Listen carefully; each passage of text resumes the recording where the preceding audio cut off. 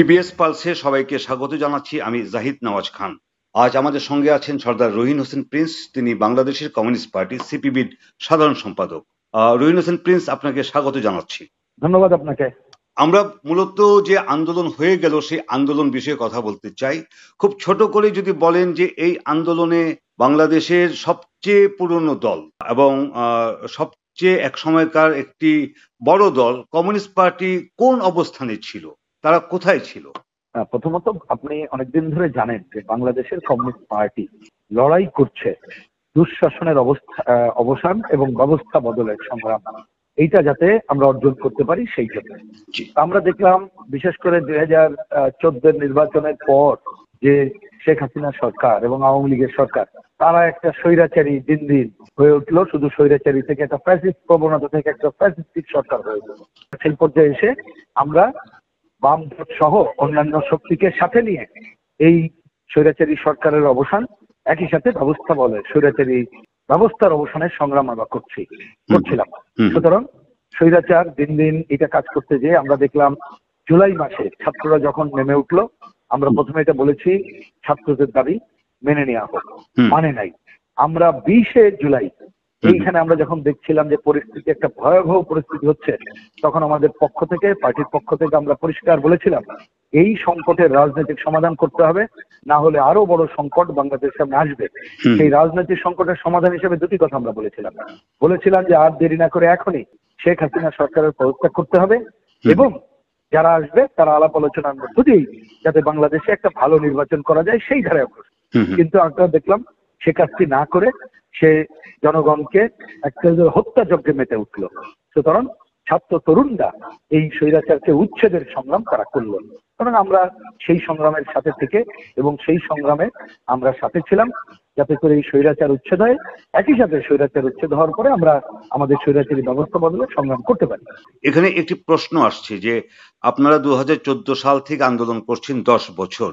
তো বাংলাদেশের রাজনৈতিক শক্তিগুলো কেন এরকম একটি বড় আন্দোলন করে? আপনাদের ভাষায় স্বৈরাচারী সরকারকে হটিয়ে দিতে পারল না। কেন একটি অরাজনৈতিক প্ল্যাটফর্ম থেকে এসে এরকম একটি আন্দোলন করতে হলো? দেখুন আসলে এই বিষয়টি এক কথায় উত্তর দেওয়া বোধহয় সময় আসেনি।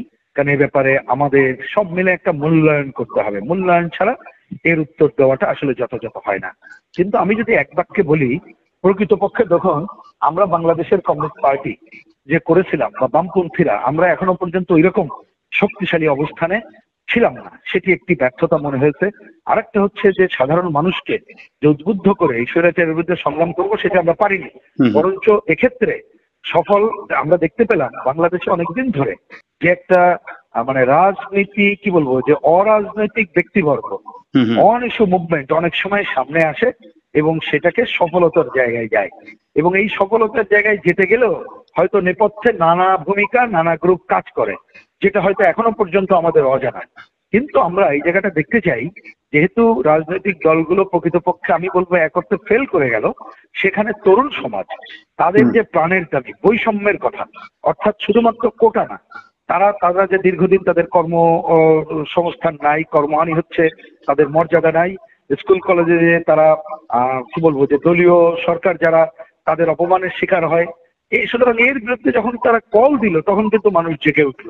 এবং সাধারণ মানুষ তারা সরকারের দম্ভ এবং দীর্ঘদিনে তাদের যে পুঞ্জীভূত ক্ষোভ এই ক্ষোভকে একটা জায়গায় তারা নিয়ে যেতে পারল। মানে নিয়ে যেতে পারলে এটাকে পজিটিভ দেখতে চাই এবং কেন আমরা পারিনি এবং তারা কেন পারল আমার মনে হয় আরও তথ্য উপাত্ত নিয়েই বিশ্লেষণ করে আমাদেরকে মূল্যায়ন করে আমাদেরকে আগাতে হবে। বর্তমান সরকার সম্পর্কে সিপিবি বা বামফ্রন্ট বা বাম জোটের কি অবস্থান?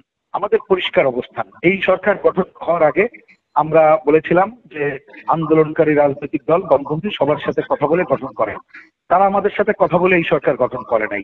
কিন্তু তারপরও আপনারা আমরা তো আশা করব শপথও যান নাই শপথ অনুষ্ঠানে কি হ্যাঁ শপথে গিয়েছি শপথে শপথে গিয়েছিলাম। শপথে গিয়েছে শপথে গিয়েছিলাম কারণ আমরা মনে করি এটা জনগণের আহ, বিজয়ের মধ্য দিয়ে একটা অনুষ্ঠান হচ্ছে সুতরাং সেই কারণে আমরা গিয়েছিলাম অন্য কোনো কারণটা এখানে নাই। কিন্তু আমরা মনে করি এই যে যে কথা আমি আগেই বলতে যে একটু থেমে গেলাম। যে আমাদের সাথে কথা না বলে সরকার গঠিত হলেও আমরা মনে করি আমরা আশা করব যে এই সরকার যে ছাত্র জনতার গণ অভ্যুত্থানের যে চেতনা সেটাকে সমুন্নত রেখে এগিয়ে যাবে। এটাই হচ্ছে আমাদের চাওয়া। এবং ঠিক যে মুহূর্তে আমি কথা বলছি এই মুহূর্তে আমাদের প্রধান দাবি হলো আমি তিনটা প্রধান দাবির কথা উল্লেখ করি অনেক দাবির মধ্যে। এটা চারটা এক নম্বর দাবি হলো যে মানুষের যানমালের নিরাপত্তা নেই বিভিন্ন জায়গায় মানে লুটপাট লুটতরাজ নানা ঘটনা হচ্ছে হত্যাকাণ্ড সংঘটিত হয়েছে। অবিলম্বে এটা বন্ধ করতে হবে। যারা এর সাথে জড়িত তাদের আহ, বিরুদ্ধে ব্যবস্থা নিতে হবে। দুই নম্বর হচ্ছে যারা নিহত হয়েছে তাদের আহ, এই নিহত যে ঘটনাগুলো ঘটলো এর সাথে জড়িতদের চিহ্নিত করে শাস্তির ব্যবস্থা করতে হবে এবং পুনর্বাসন করতে হবে।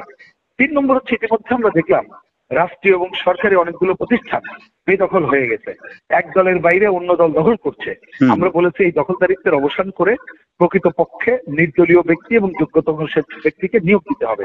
এবং সবচেয়ে বড় কথা হচ্ছে আমাদের অরাজনৈতিক ব্যক্তিবর্গের হাতে বেশি দিন ক্ষমতা থাকুক আমরা এটা চাই না। যার জন্য বলেছি দীর্ঘদিন ধরে আমাদের নির্বাচন ব্যবস্থা ধ্বংস হয়ে গেছে। সুতরাং আর দেরি না করে এই আহ, অন্তর্বর্তীকালীন সরকারের কাজ হবে। নির্বাচন ব্যবস্থার সংস্কার নিয়ে আলোচনা শুরু করা। যাতে করে নির্বাচন ব্যবস্থা সংস্কার করে একটা ভালো নির্বাচন করা যায় সবার অংশগ্রহণ নিশ্চিত করে এবং তাদের হাতে তারা ক্ষমতা দিতে পারে। এই কাজটা এই মুহূর্তে করা দরকার বলে আমরা বামজোট এবং বাংলাদেশের কমিউনিস্ট পার্টি এটা মনে করি। মানে সাথে এটা বলে মনে করি আরেকটা পয়েন্ট বলতে চাই এখানে। আমরা দেখছি যে অনেক অপশক্তি তারা এই সুযোগ নিয়ে দখলদারিত্ব, লুটতরাজ যেমন করছে, একই সাথে মুক্তিযুদ্ধ, ইতিহাস, ঐতিহ্যের উপরে হামলা করছে। আমরা সরকারকে বলব এটা রুখে দাঁড়ান, একই সাথে ঘোষণা দেন, যেটা এর মধ্যে ধ্বংসপ্রাপ্ত হয়েছে, সেটা আপনারা পুনর্নির্মাণ করবেন। এটা হচ্ছে এই মুহূর্তের আমাদের প্রধান দাবি সমূহ। শেষ প্রশ্ন, আপনি যেটা বলছিলেন যে সংস্কার করে একটি উপযুক্ত বা ভালো নির্বাচনের দিকে এগিয়ে যাওয়া। তো বিএনপি বলছে তিন মাসের মধ্যে নির্বাচন চায়। আপনাদের পক্ষ থেকে বাম জোটের পক্ষ থেকে কি এরকম কোনো টাইম ফ্রেম আছে নাকি? আমরা সুনির্দিষ্ট বলছি না এই কারণে। দেখুন নির্বাচন ব্যবস্থা সংস্কার করার মধ্য দিয়ে কিন্তু এই প্রতিষ্ঠানটা গড়ে তুলতে হবে। একই সাথে আমাদের আরেকগুলো অনেকগুলো সাংবিধানিক প্রতিষ্ঠান আছে। সেগুলো গড়ে তুলে অন্ততপক্ষে ট্রেন সেট করতে হবে। আমরা বলেছি ট্রেন সেট করুক। তাতে সেটা তিন মাস লাগবে না চার মাস লাগবে না পাঁচ মাস লাগবে। সেইটা আমরা দেখব যে তাদের কাজের মধ্যে দিয়ে আমরাও সহযোগিতা করতে চাই। আমরা মনে করি সবাই মিলে সহযোগিতা করলে তাদের আন্তরিকতা থাকলে বেশি দিন লাগবে না।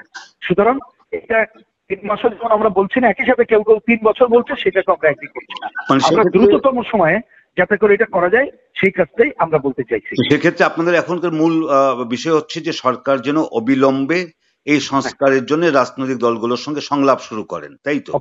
ঠিকই বলছেন। রুহিন হোসেন প্রিন্স আপনাকে অনেক ধন্যবাদ। আপনাকে অনেক ধন্যবাদ ভাই।